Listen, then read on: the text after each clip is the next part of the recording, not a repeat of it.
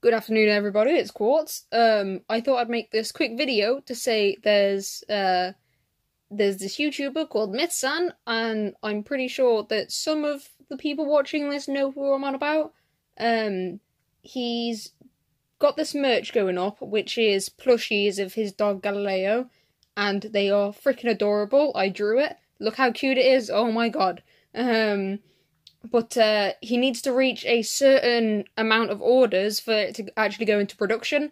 So I thought I'd make this quick video to make everyone aware of what's going on. There are only four hours left to order it, so um, there'll be a link in the description to where you can order it. Yeah, fuck, sorry, I'm not good at English, even though I live in England. Um, but uh, please consider buying one. They are adorable. Um, thank you for clicking on the video, thank you for watching it to this point, and goodbye.